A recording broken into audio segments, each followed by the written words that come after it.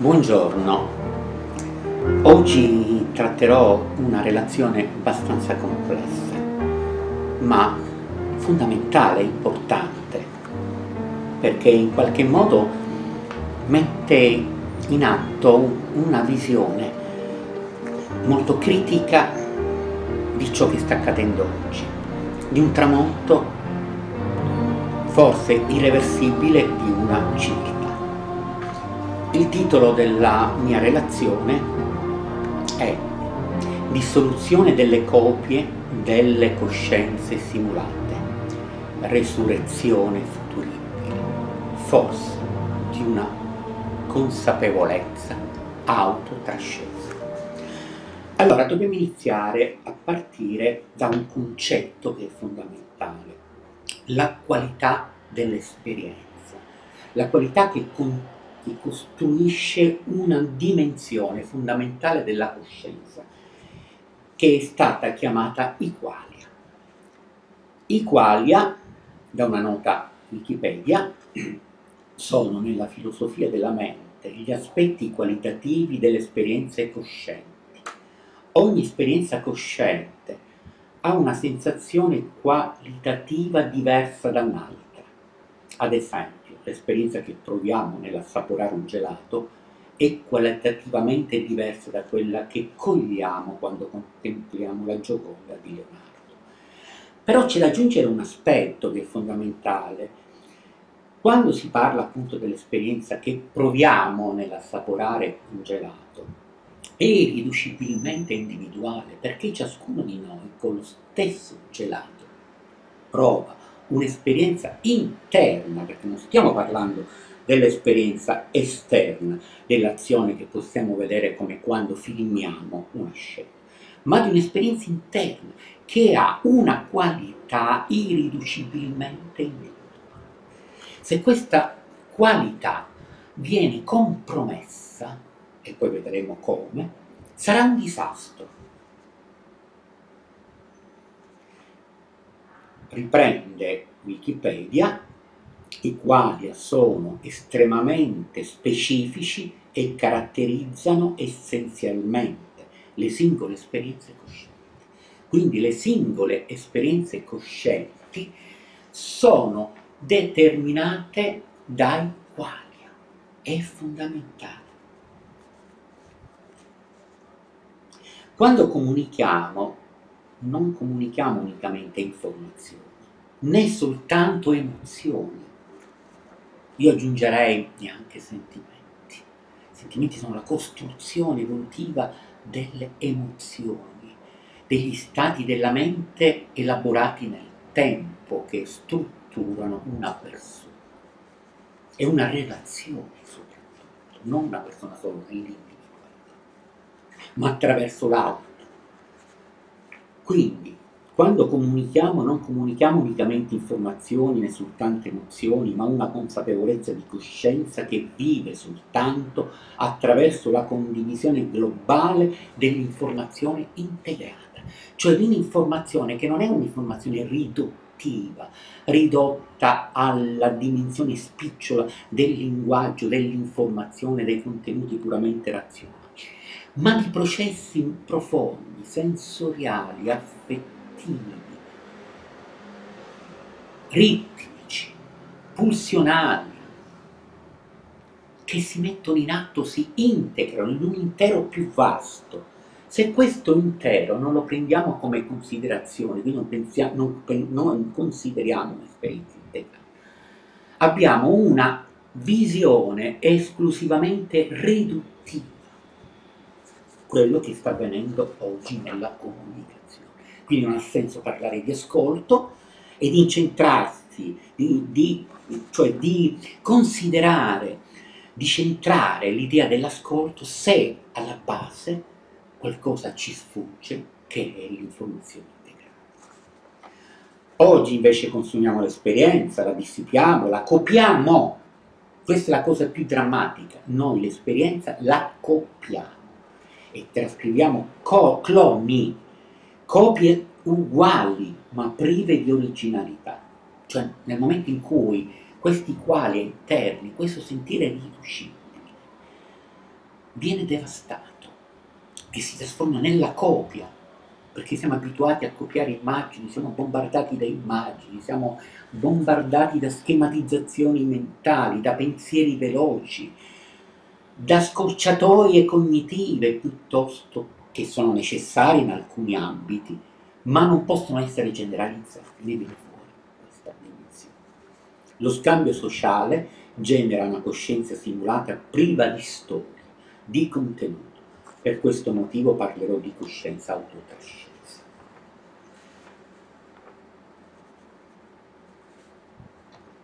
Quando noi diciamo che siamo consapevoli di un brandello di informazioni, dice uno scienziato francese. Intendiamo semplicemente questo. L'informazione è entrata in un'area specifica di immagazzinamento che la rende disponibile al resto del cervello. Questo è interessantissimo, cioè è entrata questa informazione in un'area specifica perché deve essere decodificata, ma rispetto al computer non si ferma lì, la deve rendere disponibile all'intero cervello. Ci deve essere un processo di massima integrazione affinché questa informazione si trasformi in qualia, si trasformi in sentire, in qualità. Se questo viene a mancare, allora non c'è coscienza, c'è comunicazione come tra due intelligenze artificiali. Quello che purtroppo, ripeto, stiamo, sta accadendo.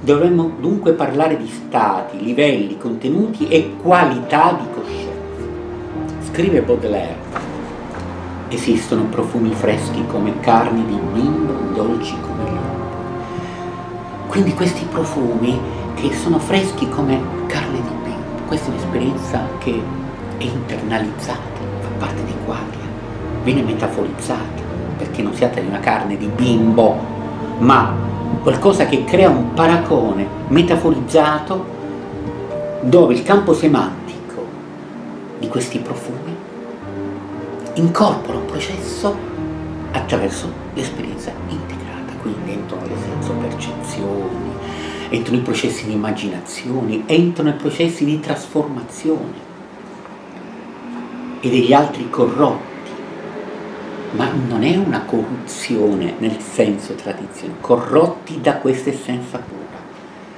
ricchi e trionfanti, che hanno l'espansione propria alle infinite cose. Capite? Qual il, quali sono i quali di Baudelaire? Questo processo di espansione. È chiaro se lui vede in tutto ciò questo processo un'informazione integrata quando io non ricevo questo tipo di informazione, ma quando di questa informazione che copio e trascrivo nel mio interno, riesco a produrre sito, processi mentali ad altissima integrazione, quindi sì. Se questo non avviene c'è una riduzione dell'informazione che diventa puramente logica, come potrebbe fare una macchina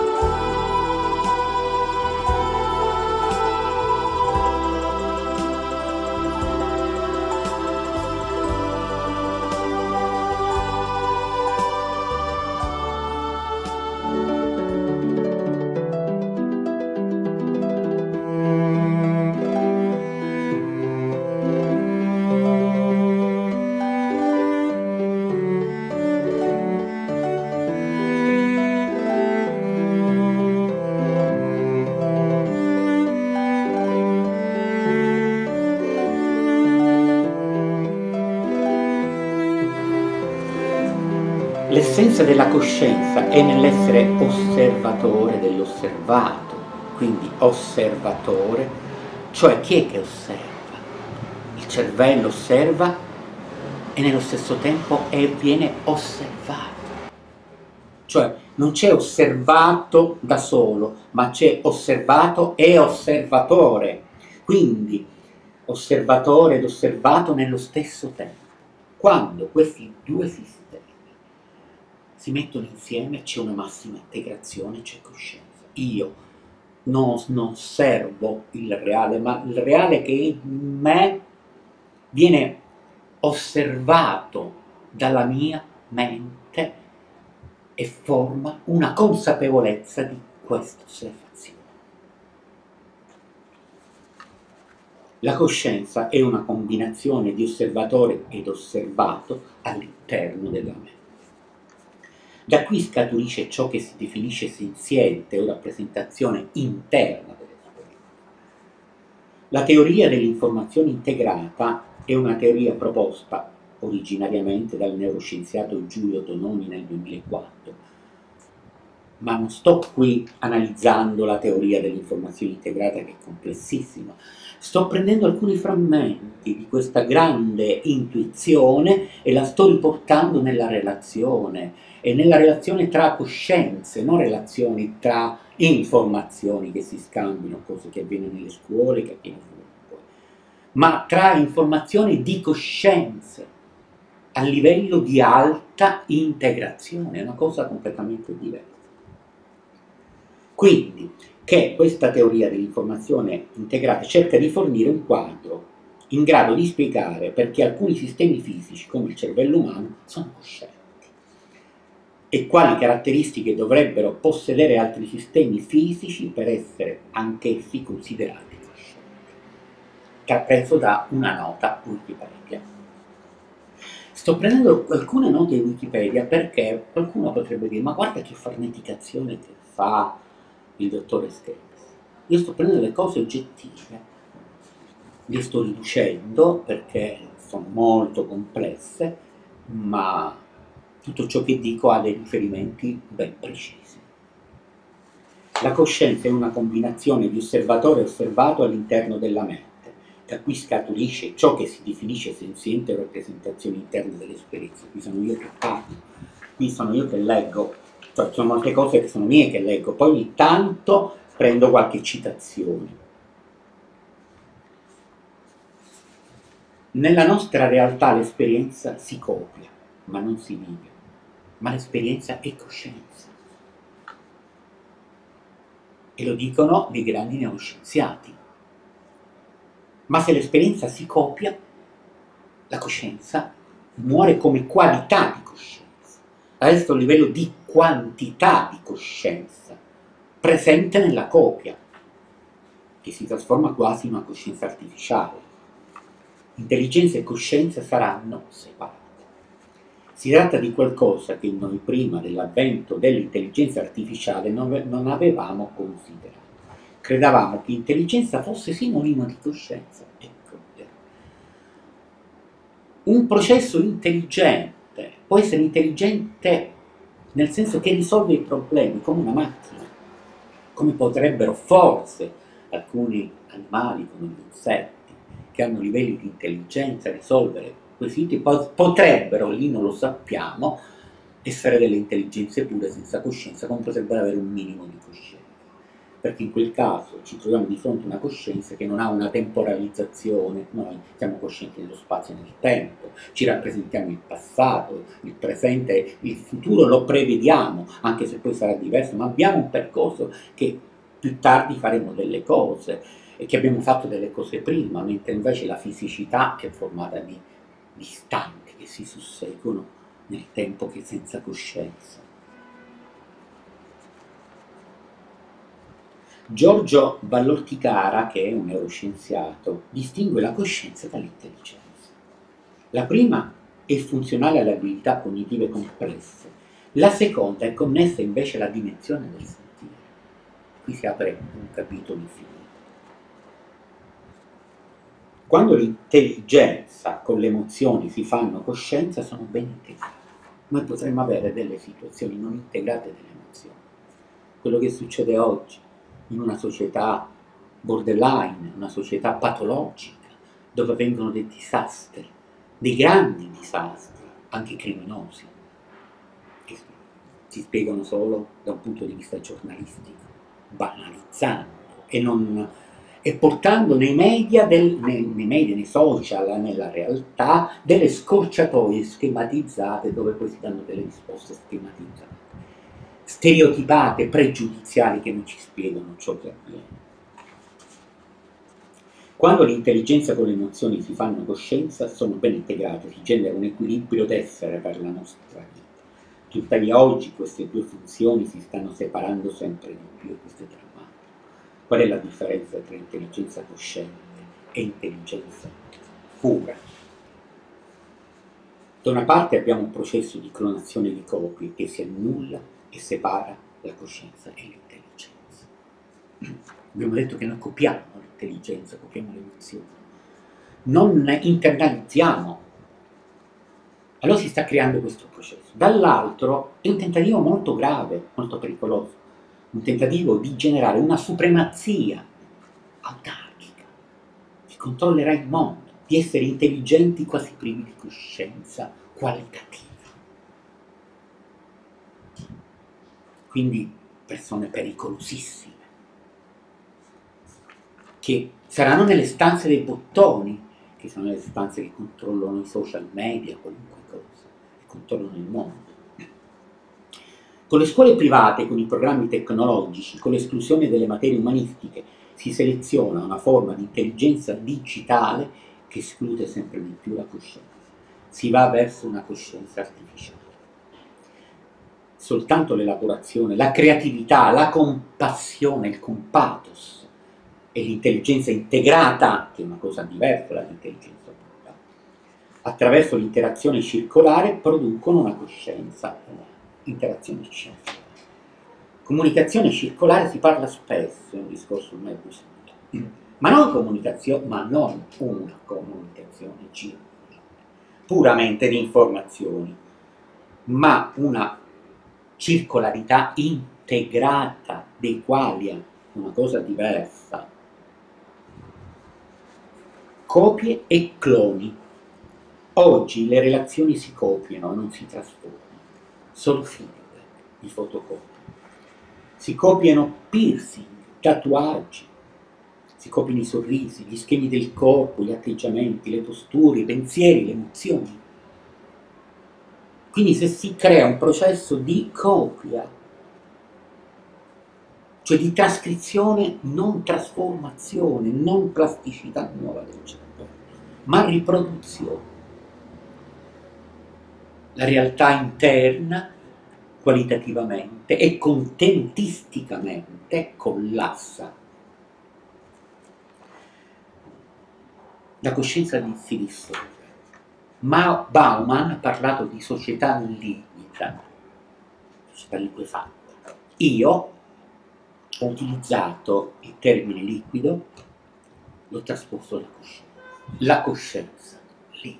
Peccato che è morto Bauman, se fosse stato ancora vivo, sarei stato felice di potermi incontrare e parlare di questo aspetto. I conflitti presentano alcune possibilità. Siamo una società conflittuale, una società che confligge continuamente. La negazione. Non è vero quello che tu dici, è falso, è vero quello che dico io. E se non c'è integrazione, ma c'è negazione c'è conflitto eterno. La risoluzione sarebbe il momento più efficace, quando cerchiamo di risolvere il conflitto. Non entro in questo settore perché se non finirei più a parlare, ma potete approfondire questi aspetti, la risoluzione del conflitto. La stasi, resto impantanato. E io propongo una nuova via, la trascina la poesia ci ha insegnato, come vi ho fatto notare prima, questa metamorfosi, questa trasformazione. Quindi noi il conflitto lo possiamo trasformare, non semplicemente elaborare, comprenderlo, ma trasformarlo poeticamente, trascenderlo in una coscienza superiore, attraverso un sistema integrato. Mi piacerebbe soffermarmi su questo vi do uno spunto, poi eventualmente si potrebbe aprire un capitolo solo su questo. Una coscienza per essere, esistere, deve soggettivizzarsi, però può negarsi nella sua copia e dissolversi, ma può trascendere attraverso la sua metafora. Ecco qui il concetto di coscienza, autocoscienza. La cosa più straordinaria che tu possa fare, tu persona, è diffondere una nuova idea, dice un grande scrittore americano, naturalista.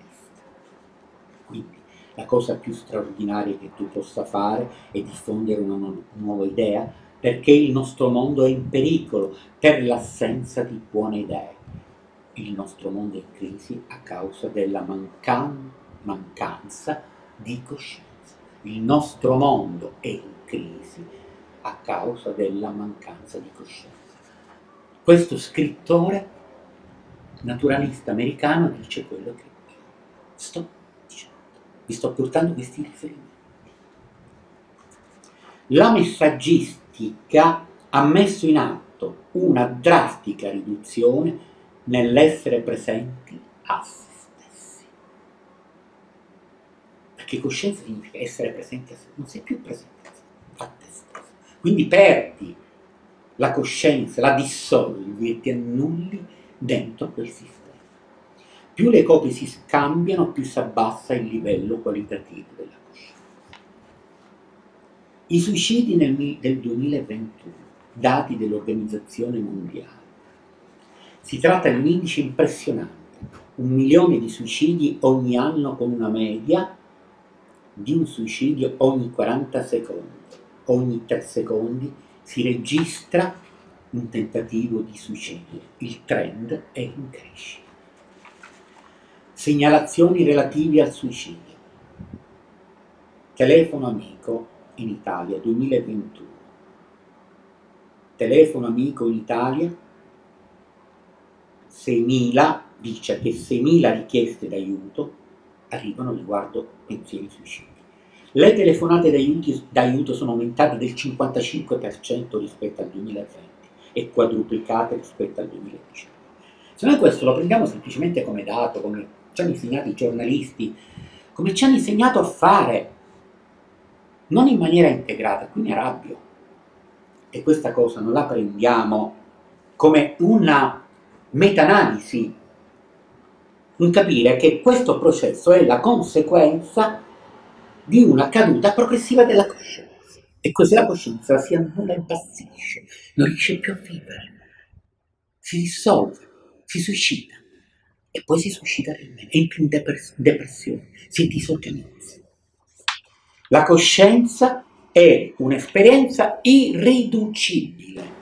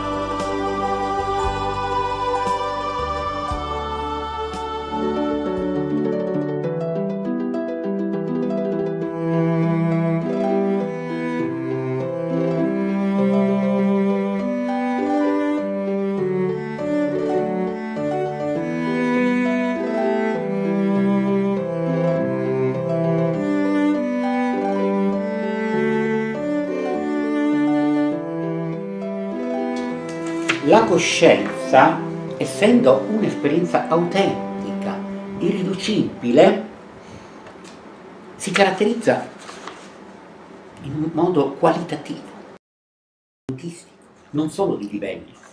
I livelli di coscienza possono variare durante il giorno, noi possiamo avere momenti di stanchezza e quindi abbiamo momenti in cui siamo poco presenti a noi stessi. Quando stiamo per addormentarci la coscienza tende a dissolversi. Poi scompare. Dopo riappare in una forma diversa, in un'isola di coscienza, i sogni, per poi ritornare e poi nella, nella veglia e la fase di transizione. abbiamo uno stato in cui la coscienza è molto bassa. Esistono livelli qualitativamente bassi come delle gravi patologie, quantitativamente bassi, scusa, e anche qualitativamente basse nella, nelle malattie mentali. Ma quando noi siamo presenti a noi stessi, facciamo un esempio. Ogni volta che si regala una rosa senza aver vissuto la relazione con la rosa, senza averla respirata nell'odore, nel colore, nella forma, nei suoi simboli, senza averla empatizzata ed internalizzata, guardate l'empatia, i neuroni specchio che ci permettono di copiare di trascrivere nella mente un'espressione vissuta. In questo caso l'immagine della rosa che viene trascritta in noi nella sua emozionalità, non solo nella copia della sua immagine. E che cosa succede? Cioè noi stiamo avendo un rapporto con la rosa attraverso un livello di informazione integrata, a livello di altissima integrazione.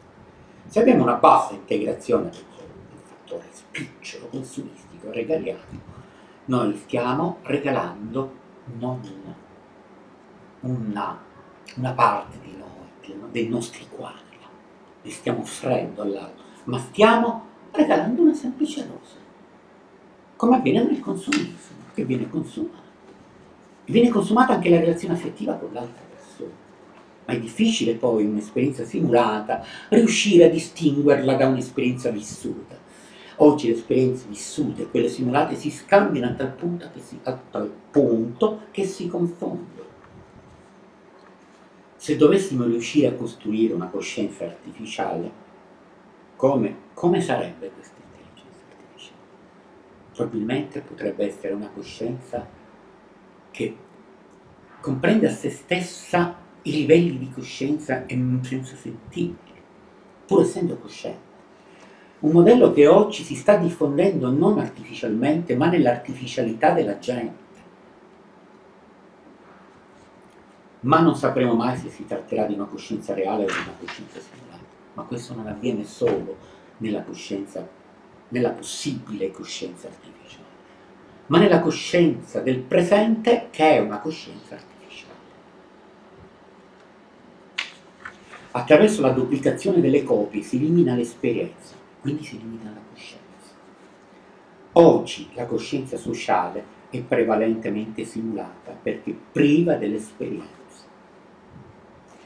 un neuroscienziato ci dice la coscienza è esperienza.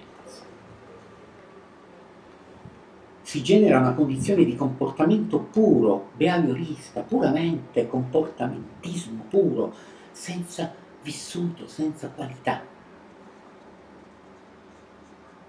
Immaginiamo le relazioni umane che si stanno trasformando in copie e in comportamenti puri comportamenti come poco fa ho detto la separazione tra intelligenza ed esperienza, tra intelligenza e coscienza, separazione tra coscienza e comportamento. Una macchina può avere un comportamento, può fare delle azioni, può decidere, può trovare delle soluzioni, una macchina Si tratta di stati di piacere che non solo si vivono ad ogni risposta di bip e di icona selfie, ma che si copiano nella reciprocità. Tutto ciò determina quello che Baudrillard considera divorare ed espellere. Noi divoriamo l'esperienza, la ammolliamo, la mangiamo, la cannabilizziamo e poi la espelliamo. E che cosa resta? Nulla. Questo è il processo di velocizzazione di consumo mediatico e di consumo social mediatico e di funzionalità delle chat, funzionalità dove le nuove generazioni vivono e costruiscono la loro esperienza all'interno di questi processi. Riporto i dati che sono stati forniti negli anni passati dall'IPOL, cioè l'Istat americano, in questo settore. Si bloccano i cellulari 80 volte al giorno, si picchiettano 2500 volte. Gli adolescenti durante le ore di sonno tamburellano con il dito costantemente il telefono. Dice la professoressa Daniela Lucangeli, che è una psicologa, professoressa universitaria, ricercatrice e scienziato, si picchietta un numero di volte superiore, superiore. A quante volte abbiamo uno stato di presenza cosciente nell'arco di una giornata. Si picchietta che cosa? Il cellulare, cioè di presenza cosciente in noi stessi, cioè il nostro rapporto compulsivo, dipendente con questo mezzo supera i livelli di coscienza di, a noi stessi, perché la coscienza non è un affatto statico, è fluttuante. Noi, noi abbiamo una emergenza di coscienza tutte le volte che ci rappresentiamo noi stessi qualcosa d'esterno. Tutte le volte che avviene questo c'è un processo di coscienza. Ma se noi acquiriamo tutto questo attraverso questi automatismi, dove finisce la coscienza? E mi riallaccio a tutto quello che ho detto prima. Fattori di rischio che si stanno determinando. La depressione infantile una volta non esisteva. L'Organizzazione Mondiale della Sanità lancia un allarme, un vero e proprio SOS, riferendosi ai disturbi dell'umore, del comportamento interiore. Si tratta di un alert di pandemia e mette in guardia sulla depressione infantile. Daniela Lucangeli riporta dei dati impressionanti riguardo la depressione infantile rilevati dalla Commissione ministeriale. Il 70%, il 73% dei preadolescenti alle scuole medie vivono una condizione di malessere E poi ci sono alcuni che continuano a dire che sono frutto da queste cose e dicono che è meravigliosa questa società. È vergognoso. Le azioni sono modulate dallo schermo, i tempi sono stati eliminati. Insight significa percezione istantanea, solerte di fatti esterni e interni. Noi siamo in insight, siamo dentro Infatti diceva la ciascuno di noi è in insight, non siamo affatto fuori. E se siamo dentro, come possiamo capire quello che sta avvenendo? Occorre che ci sia qualcuno che esca fuori per vedere quello che avviene dentro. Infatti c'è un silenzio madornale della gente. Una psicologa americana descrive la caduta motivazionale scolastica in America e riporta dei numeri sconcertanti. Poi aggiunge che le star della televisione, l'ho dimostrato con i dati, dice lei, sono ad un alto contenuto di narcisismo, fanno sembrare il narcisismo normale persino lo l'otello. Pensate che squallore, che società squallore. Poi aggiunge che nel 2015 le percentuali di adolescenti deprivate dal sonno è aumentata del 57% e lo dice nel suo libro Iperconnesse a pagina 162. Allora, riprendo, lo schermo opera una fusione delle parole con le immagini, le parole non sono più integrate ma sciolte e liquefatte quello che produce uno schermo o televisivo, uno schermo in internet, in tutti i video che si mandano, in tutto questo apparire totale, c'è una liquefazione totale e fusione delle parole con le immagini sino a, a sciogliere la qualità interna.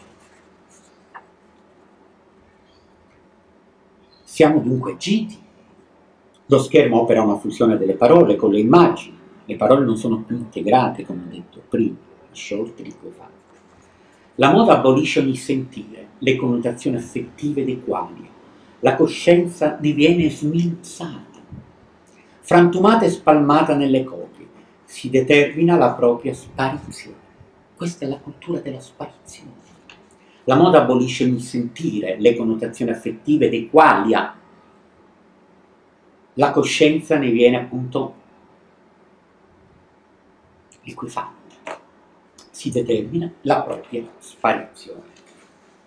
Quando la mia sparizione incontra la tua scomparsa, la tua sottrazione, cosa succede? C'è qualcosa di drammatico. Scompariamo entrambi nell'incontrarci. L'automatismo schematico delle copie trascende negativamente la coscienza in un'eterna pulsazione ritmica. Si tratta di ritmicità pura, di rilascio di piacere puro, sganciato, svincolato dai processi integrativi dell'affettività, della pulsione. Io ti offro la mia sparizione nel piacere tu, in cambio mi regali la tua simulazione, tu simuli te stessa o te stesso perché non ci sei.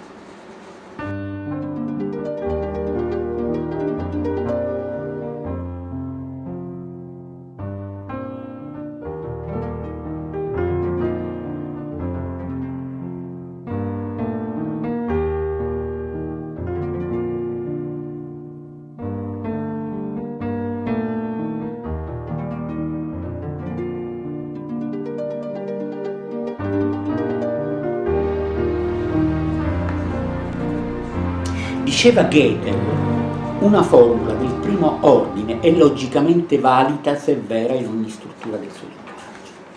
Noi oggi proferiamo delle verità singolari, particolari, ma non le compariamo, per cui diciamo questa cosa è drammatica, ma questa va bene. Non ci rendiamo conto che questa cosa è vera se è vera in ogni parte, non se è vera solo in quella situazione. Noi prendiamo solo dei casi specifici, prendiamo un gruppo di ragazzi che si comportano bene, che funzionano bene, diciamo non è vero perché i ragazzi sono brillanti. Proviamo a fare un'analisi dettagliata e vedere tutte le cadute, i processi di analfabetismo funzionale statisticamente, analizzati, la capacità di usare un linguaggio senza comprenderlo, tutta una serie di cose, e poi compariamole. Allora lì possiamo dire se questa cosa è vera, deve essere vera in ogni sottosistema. Ecco il gioco giornalistico della selezione dell'informazione. La teoria dell'informazione integrata, la teoria dell'informazione integrata, che ho già esposto, considera le interazioni tra le parti che costituiscono un totale, prendendo in considerazione sia la qualità che la quantità, mentre oggi si ragiona solo sull'integrazione delle quantità dei flussi di quantità e quindi c'è la distruzione dei qualia. Quindi queste, queste qualità e quantità quando vengono integrate interagiscono in un sistema più ampio. Noi per, abbiamo una visione cosciente, internalizzata, quando le quantità con le qualità vengono integrate al massimo livello di integrazione. Abbiamo l'esperienza di essere coscienti del sentire. Oggi viene abolita la dimensione qualitativa della coscienza. Dopo la generazione Z, che conosciamo tutti, abbiamo la generazione alfa, che ancora sono piccolini, che sono i nativi dal, del 2010. Picchiettano i tablet prima della penna costruiscono un'esperienza interamente artificiale, non conoscono più i limiti di spazio e tempo perché sono dentro questa esperienza artificiale, nel fluire del tempo, abitano un'intelligenza artificiale e vivono un'esperienza artificiale. Basso livello, quantitativo, qualitativo, scusate, della coscienza. Abbiamo un alto livello quantitativo della coscienza integrata e un basso livello qualitativo della coscienza quindi non abbiamo la coscienza integrata che crea integrazione tra qualità, quantità, contenuti. Contenuti non solo come informazioni, ma contenuti come esperienza di vita. Informazione semantica ed informazione integrata. Informazione semantica, da puntare anche l'intelligenza artificiale. Vai in un vocabolario e trovi significato.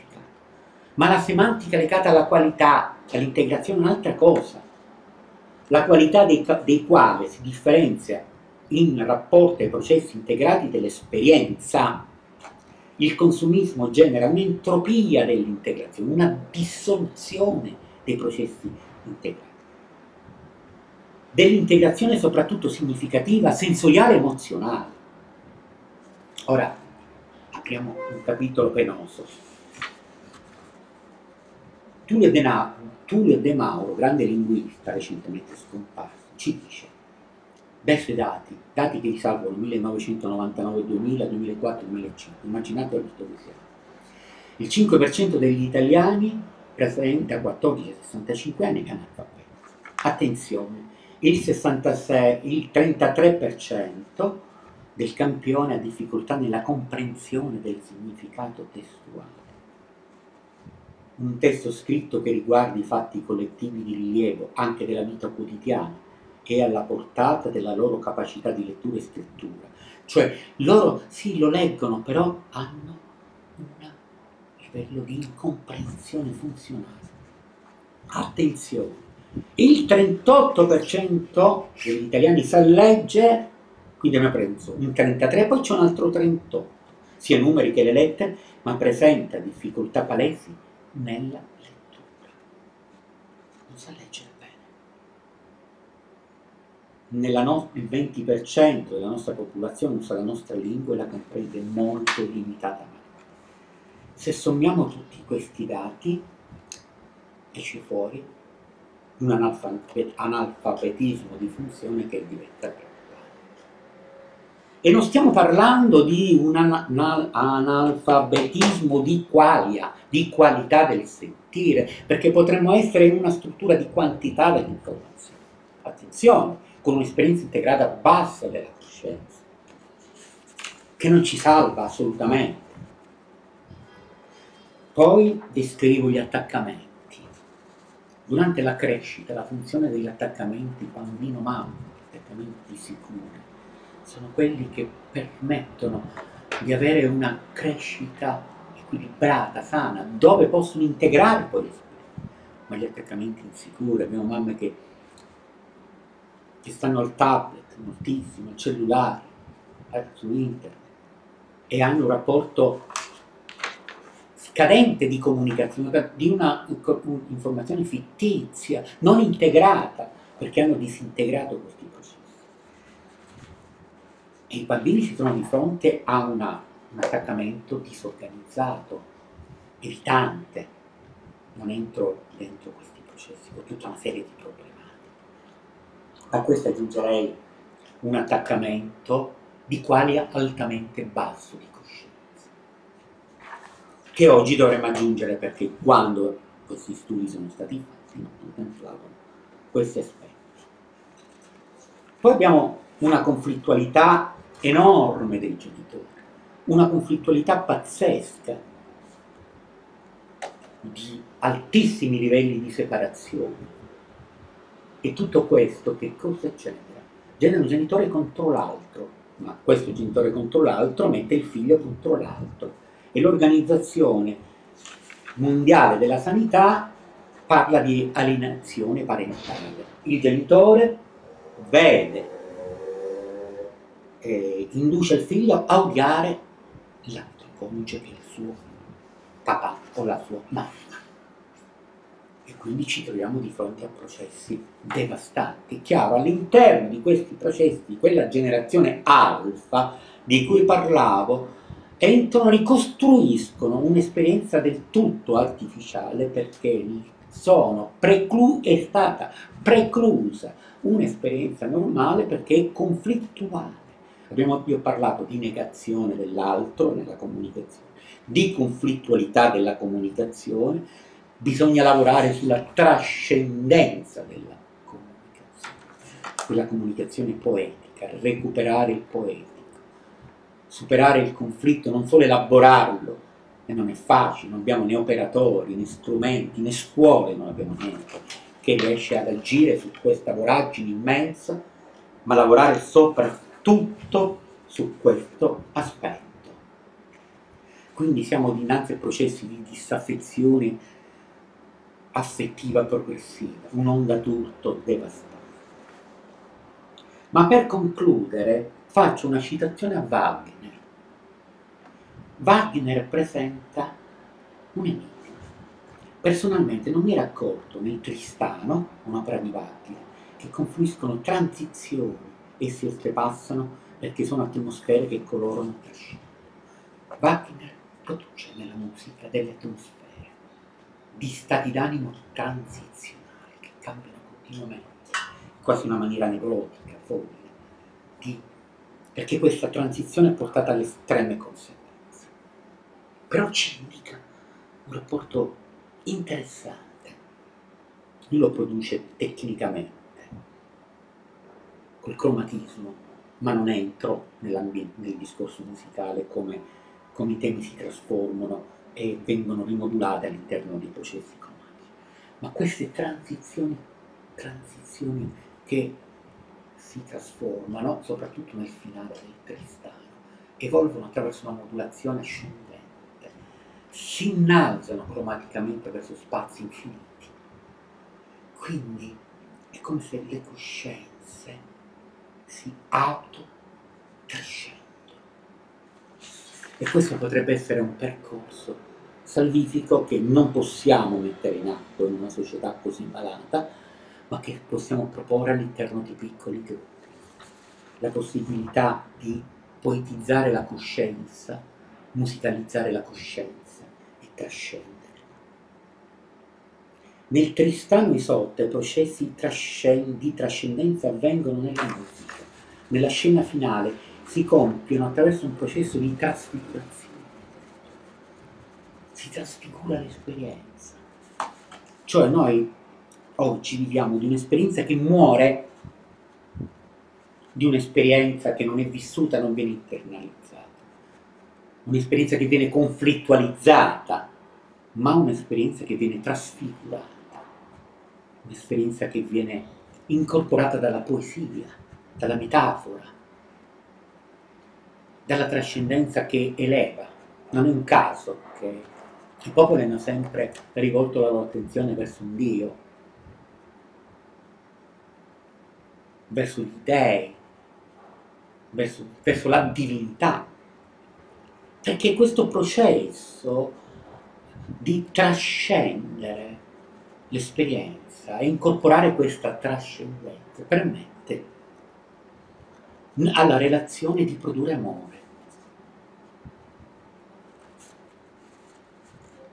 I temi nel tristano vengono trascesi attraverso delle modulazioni continue verso l'alto, con un cromatismo ascendente, e sarebbe bello parlare della tecnica del cromatismo musicale che non è del cromatismo visivo, ma è un processo che crea tras- delle transizioni che si trasformano, delle emozioni e dei sentimenti, sino che poi si trasfigurano e si innalza fino alla dissoluzione della fisicità in quel caso, come un rapporto sessuale senza corpi, ma nell'anima. Mentre quest'opera siamo proprio a questo processo dissolutivo della fisicità, noi potremmo riproporre questo momento come un momento rigenerativo di una fisicità integrata alla spiritualità, di una sessualità legata alla metafora della poesia, di una sensorialità e sensualità legata alla musica, ma non solo alla musica di, una, di un processo compositivo, ma alla composizione di una musica nella relazione, dove si produce questa autotrascendenza.